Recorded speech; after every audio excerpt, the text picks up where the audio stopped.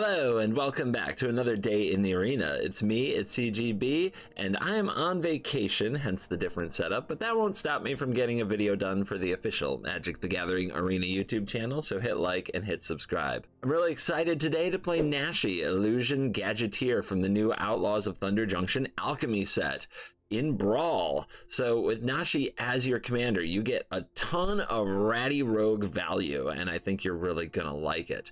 This is a 4-4 rat rogue with menace and ward 2, and when Nashi enters the battlefield, you secretly choose a card in your graveyard and conjure a duplicate of it into your hand. If the duplicate isn't a land, it perpetually gains flash. So this deck is all about value. Nashi is all about value. When it enters the battlefield, you get a card, any card from your graveyard. It's a secret. The opponent doesn't know which one you chose, which is one of the advantages of being an alchemy card.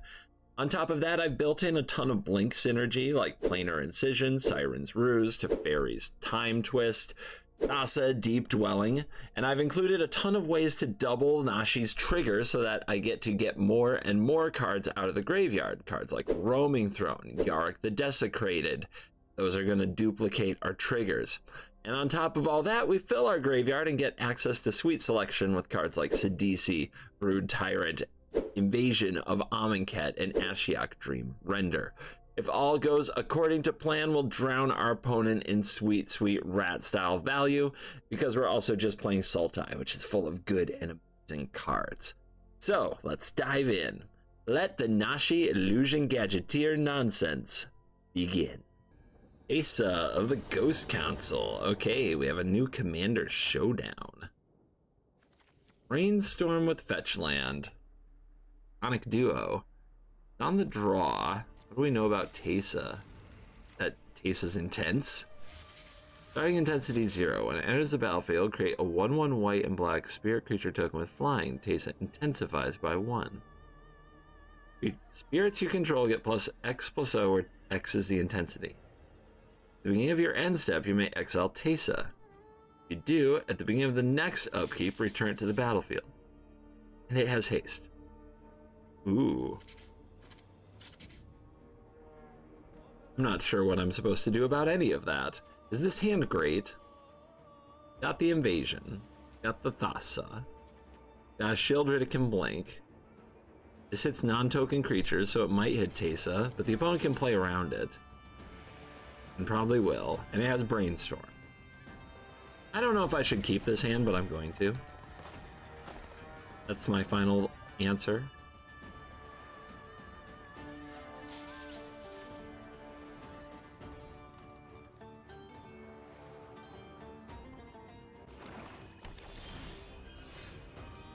Bristlebud Farmer. That's a guard. okay.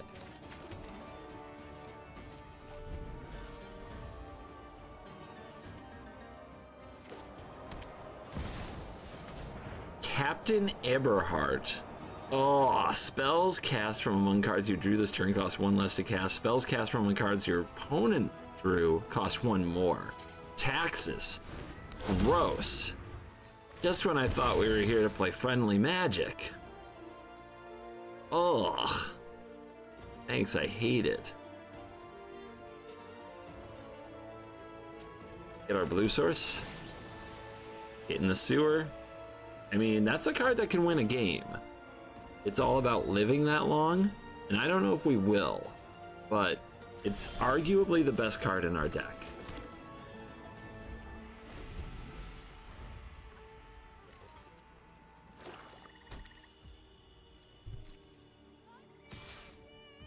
Uh-huh. Double strike.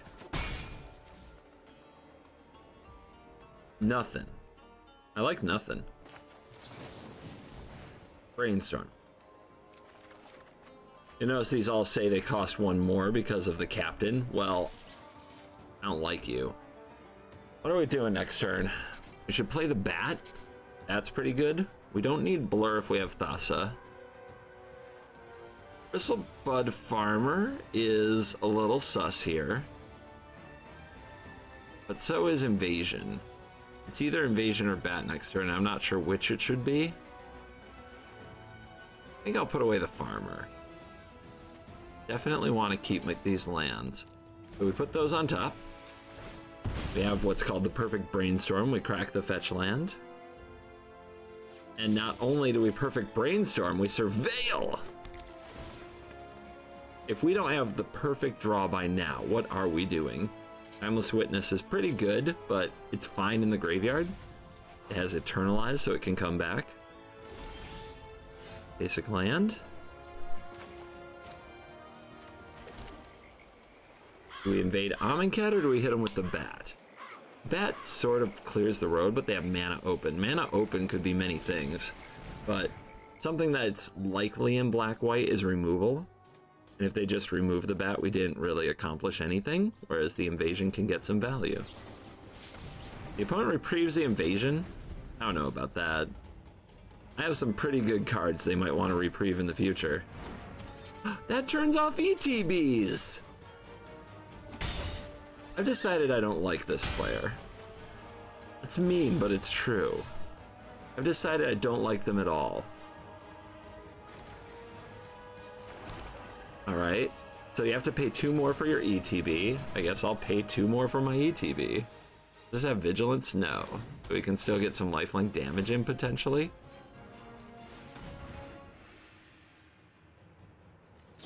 Yeah, there's the removal. I, I really don't like them.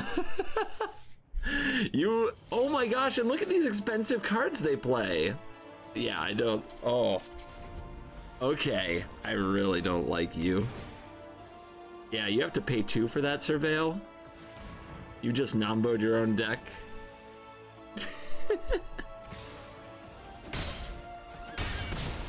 Alright, do I run removal? I have run a sky turtle. That removes things kinda. I can channel it. I can channel it on the proctor. Is this a spirit? It is. I can channel it on the proctor. Yeah, I think I'll do that. And then play invasion.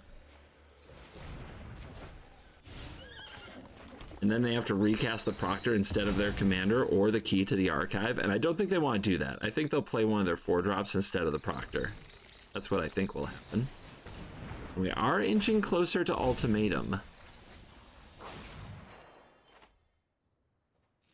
So they have to discard, we get to draw.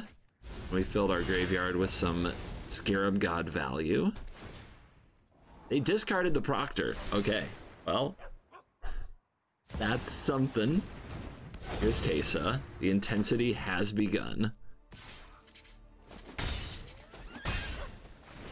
Then they get to keep exiling it over and over and over again. Old Rusty. What are they going to play next turn? They'll either play the key or they'll play ow, which is mean. I guess that means we should get Sheoldred down and kill the captain. The captain's annoying. Is it that important to get rid of it? I don't want land, to be honest. Ultimatum next turn could be everything. So what do I want them to think I got, is the question. I guess I could make them think I got Brainstorm. Here's Nache. But what we actually want is a land. Da. We play this land this turn, though. So that next turn we can ultimatum. We're gonna need a value explosion to win this game. You a spirit dragon? I bet you are. Ow. Yeah. Oh, no, don't, no, don't do that. Don't top deck Declaration in Stone and remove my commander. I really don't like this opponent. you are upsetting me. We need triple green, we have it. We need black, black, black. I can get an island, and Delta will do its thing. I cannot do the tower, though. That would be bad. That does not pay for ultimate ultimatum. Boom. Alright, how do we win? Time Warp, Breach the Multiverse, Vaultborn Tyrant, I think, is a pretty good setup. A great setup, you might say.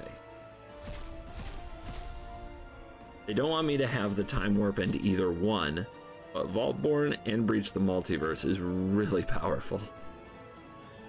Yeah, they send away the time warp. This is gonna be nasty.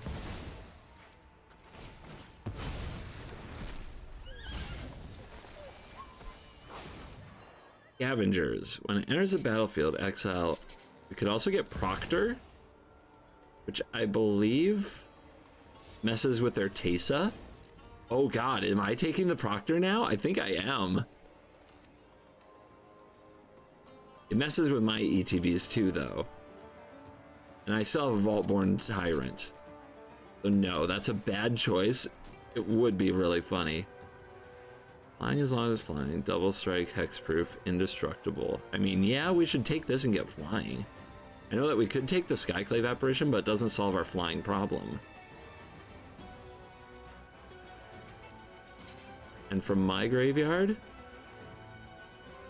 big flying, bat maybe? Bat? I like the bat. Okay, bat. We could also get the Sky Turtle or the Vorinclex. Next turn, they might have Ugin to destroy one thing. Big 6-5 Turtle seems good, but I think Vorinclex is better. Into your graveyard I go. We munch on Strict Proctor. Where'd you go? You were there a second ago. There you are.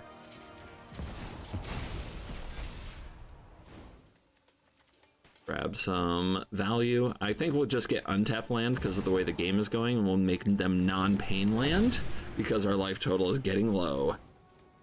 Discard a card. This forest. A scoop! Okay. I know that took a while uh, when you're uh, working remote on a slower computer. Clicking is hard. Okay. Don't feel too bad. They'll have another game. They'll be all right. Our opponent is playing Athreos, Shroud Veiled, another black-white commander. This one likes to bring things back from the graveyard, both yours and mine. Okay. Mulligan? Mulligan. Dark Ritual is a heck of a card. It doesn't always line up perfectly in this deck, though.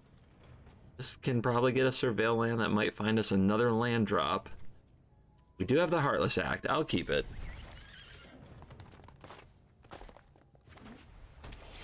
They opened the door to the emo game. Let's go.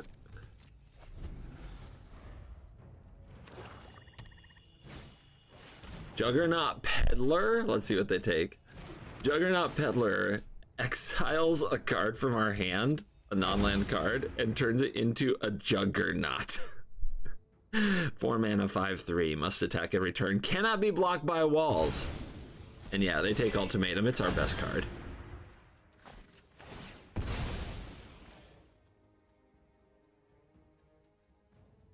Get me... Breeding Pool, get me the sewers and Flux. Not a bad card. Not the right card here. And besides, it's in the graveyard now. Now she loves that. And a confluence off the top. Let's shock in this breeding pool. Fight that particular bullet. We can Dark Ritual out the Juggernaut. Oh, aggro. This is not what I expected Dark Ritual to do in this game, but here we are. I have become the beatdown. Nothing? Nothing. Get the Confluence. Give me an Arcane Signet. Then we have Heartless Act available. Okay. Well, remember, you made that Juggernaut. Kind of interesting that they held it. They could have had an attack last turn, but they wanted to see what I'd do. They also know I have other pretty good cards. Jays Louise. Okay. Well, Heartless Act the Juggernaut Peddler because I definitely don't want Athreos to get a counter on it someday. When it sees a thing and they remove it. One job. Siphoner down to one. It can get back an Essence Flux, which is really good. Can get back a Juggernaut. now, let's play Sidisi while the opponent doesn't have removal open so that we definitely get a zombie if we hit a creature. But no creature. Fail. Three lands. Ugh.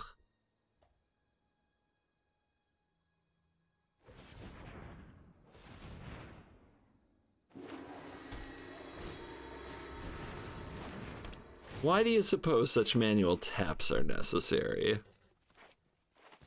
Seems like you're holding Vanishing Verse or something? Combat? Is it the last second removal spell again? Is it? It sure is. Okay. Well, opponent, you think you're crafty. But you weren't crafty enough, or you would have done that on your turn. You knew I had this in my grave, in my hand. You knew I had this in my graveyard. and we get zombie. Outplayed. Fortunately for me, my plan is on the battlefield. That's it. That's my plan. So, board wipe.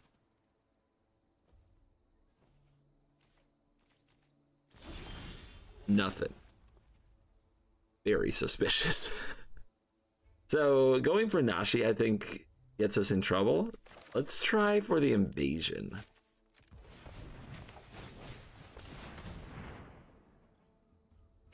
They've got removal, right? And they keep they they've shown us they play removal at the last second. That's how their deck works. Discard Kaya, wow. Let's Uro. Oh, we have the mana. Uro very powerful with cards like Sidisi. Fill that graveyard, turn it into Uro fodder.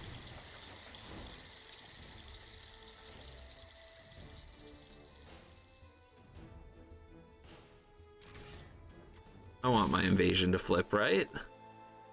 Right?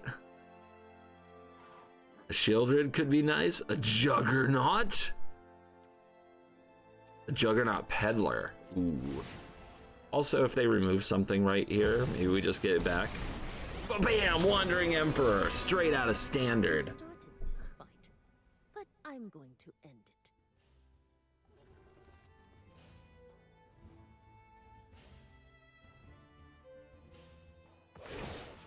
Exiling Sidisi feels real bad for us.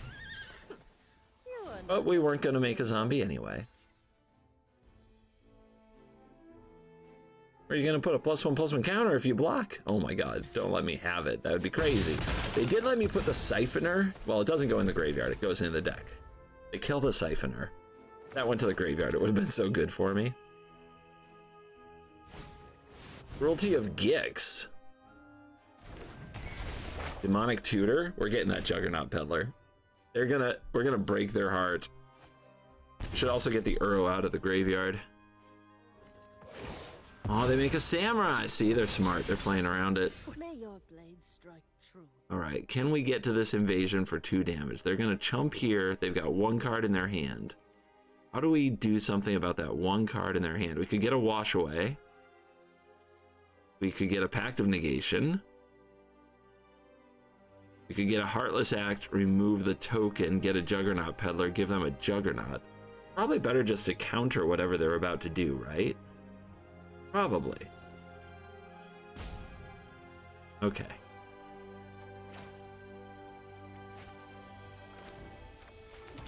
Here's Nashi. Give me Pact of Negation. It has Flash, huh? One, two, three. We hold you back to bring out Uro.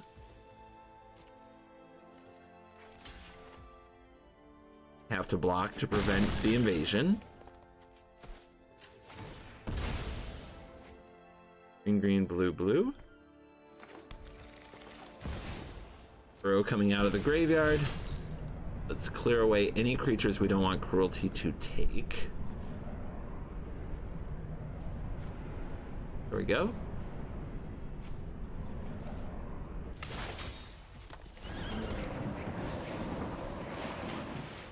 Ice tunnel. Hitting lands. Doing it. Alright, put target creature card from a graveyard onto the battlefield. I think they might get me a Juggernaut. Nope, they go for Overseer. They really wanted to get me a Juggernaut there. I bet they got Breach the Multiverse or something super strong. Oh, yep, Farewell. Farewell counts. Got the Juggernaut.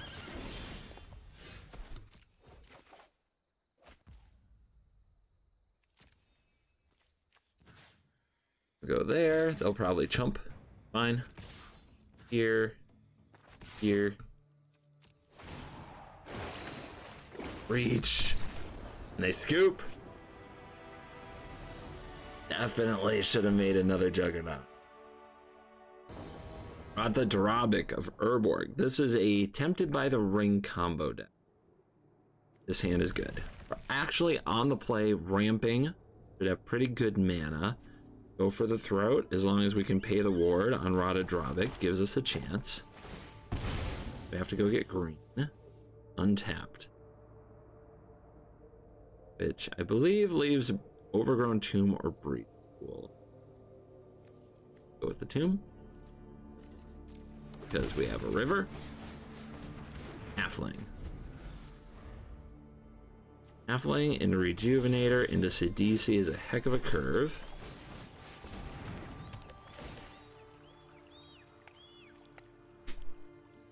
No! Oh, God. No! Oh, that might be the first whiff on Rejuvenator I've ever known. At least it got us to a land, right? Oh my goodness. That was, that was, I am in shambles from that. Okay, we're gonna be better. We're gonna be better. It's gonna be fine. It's so fine. No, no creature.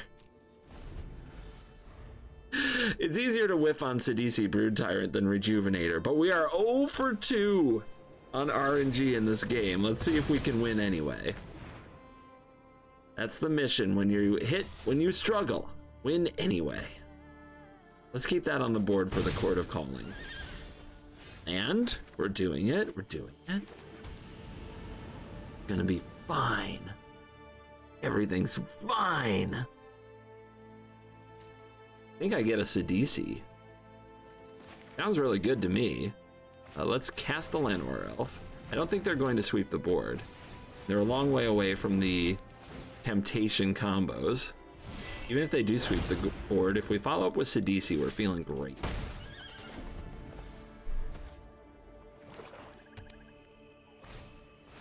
Radravik is here. Radravic's throat is going to be missing in a moment.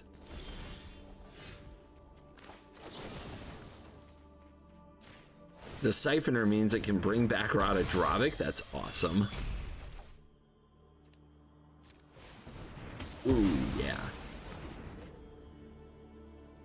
Bring back Radravik. No, bring back Go for the Throat to kill Radravik. What am I saying?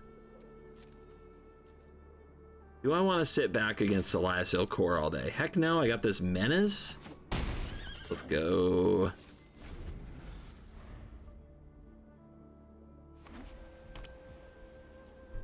Anything? Combat? I think not. It's holding back three damage, so that makes sense. Do not attack. Okay. Siphoner. Let's go for the throat. That's the plan. Opponent's chilling. Not sure what they're up to, though. Expecting something with Flash. Gandalf the White, huh? Okay. You gonna double block? You will. Still, Radravic's the thing we have to kill. There's your double block. I think this is fine. Mm? Hold on. We could get a Chupacabra and kill Gandalf.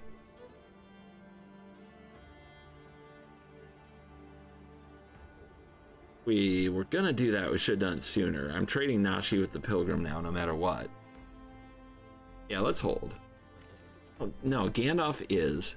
You may cast legendary spells and artifact spells as though they have flash. Yeah, that has to go. That has to go.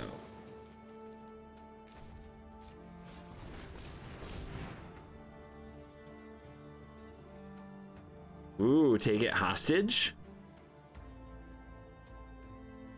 That's pretty good.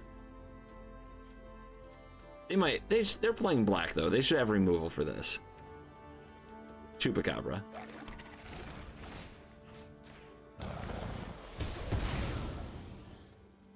And now I get the Ilkor off the field, and they, if they don't have a legendary board, it takes them a while for their Rada Drabic to put things together for the combos. So it's fine. Casting Nashi again and getting more value is also fine. Nazgul. Temptation begins. They have a 2-3 death touch. they have more than that. Oh lord. Okay. Cool. The bat. Oh well well.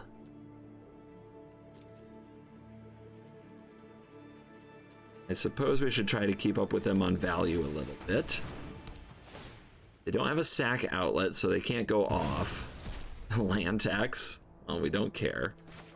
Here's Sidisi. Let's see if we can make some zombies to block these Nazgul. To give us more options for Nashi. And we have a hit.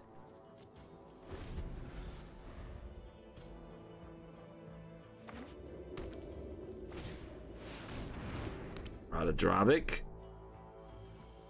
If the legendary one dies, they get a copy of it. Worth noting. So do I keep my Chupacabra on the board? Potentially blank, or do I block with it to make a copy?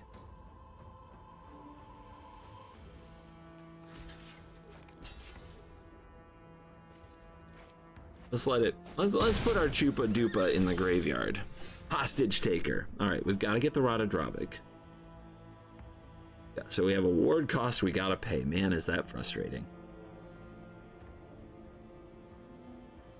We're in a position where we could take a Nazgul and cast it, but first we have to take care of the Rada We could wait for them to go to, to the combo, Siphoner, get back Heartless Act, pay ward. I think I like that. Patience. Patience can be a win con.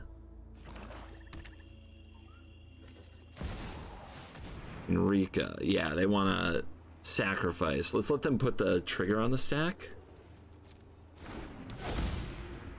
Go to combat. They choose. Each player sacrifices, probably. Because they get the legendary one back in response.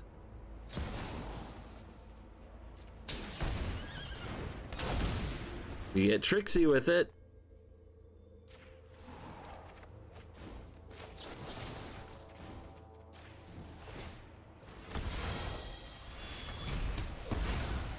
Get that and get that off the board. Now their choice is a little more permanent. And I definitely have fodder to sacrifice, so this is good for me.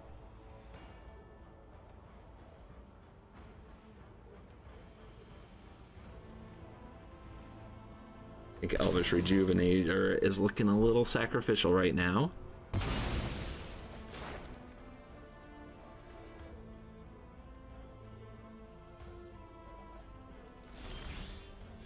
Can I hostage take Henrika? I'm a mana short of casting it the same turn. In that case, go for the Nazgul. Legendary one. Oh, they hate it. They hate the value. Beautiful.